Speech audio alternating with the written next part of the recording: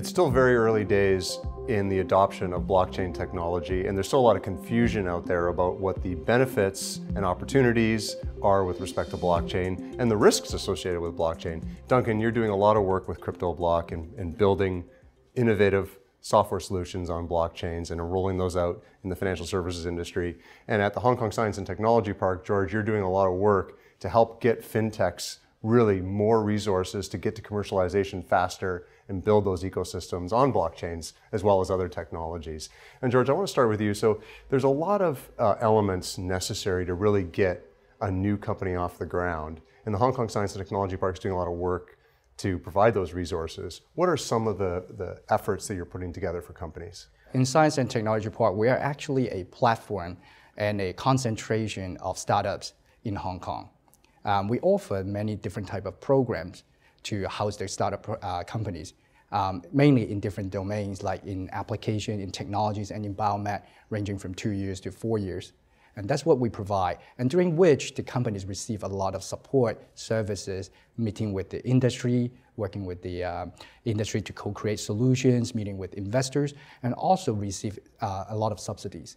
We recently actually bumped up the uh, subsidies so that a company can get um, during the program from $100,000 to half a million dollars just to you know, help them to accelerate and propel in their startup journeys. And you have something at the park called the Technology Talent Admissions Scheme. What is that about? It is actually a scheme um, released by the Hong Kong government to fast track talent import into Hong Kong. So for companies in Science Park, you know, once you know reviewed it with uh, Science Park of their of their needs and then recommended by Science Park, and if approved by the government, um, they will be able to import a talent with the proper visas to work in Science Park um, in a matter of weeks. Uh, Duncan, for your business, uh, being such a new area in blockchain, the ability to get the best talent is critically important. Have you been able to take advantage of programs like this? This is actually very important for us because we are actually doing global hiring. Uh, definitely in Hong Kong is not enough. I, I, believe this is actually the problem all over the world. Um, so we are actually making use of this, uh, this program um, to accelerate uh, the way that we can actually uh, recruit some the best talents all over the world to Hong Kong and join us. At CryptoBLK, you're building some really uh, interesting solutions on blockchain. How are you helping the financial services industries, particularly the big banks? For example, Alice. Alice is a kind of trade finance system. So trade finance is just one of the applications, one of many applications uh, of blockchain.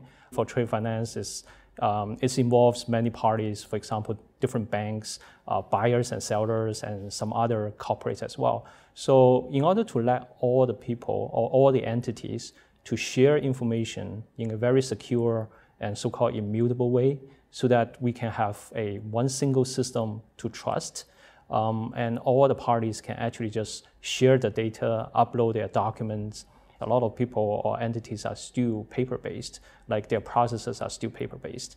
By using blockchain, we are just uh, doing the digital transformation. In the end of the day, what are really the economics of it? I don't think anyone globally yet has proven a commercial model that makes sense. Is it a cost savings opportunity and, and how much, or is it a new business opportunity and how much? I think it's both, but actually more importantly, blockchain, I believe, uh, for example, for Alice, the trade finance system, is that it can actually create some new business uh, when we are talking about, say, finance gap, the finance gap is talking about, say, some of the corporates. Um, they, because of lack of transparency, it's very hard for them to get the financing. Um, but once we have this blockchain to enhance the transparency and also to have a better way to keep track of all the documents, then some of the corporates can actually get the financing. So this is actually a new business opportunity for everybody. And George, when you think about how you can best help fintechs get financed, uh, what are the elements that you look at there and, and what are the roadmaps you follow to get companies financed here at the park? What we want is for the company to be self-sustainable, right? They need to be able to find their business, find their solutions to meet the uh, true industry needs. And for that, what we do is we actually partner with a lot of stakeholders in the financial service industry, whereby they will open up their technology platform as well as their business you know, problems and business use cases so that the companies, the technology companies within the park have a chance to really work with them um, in a short period of time and to, to, validate their solution, validate their technologies, and finally to prove, to your point, the economics of, the, uh, you know, of their solutions.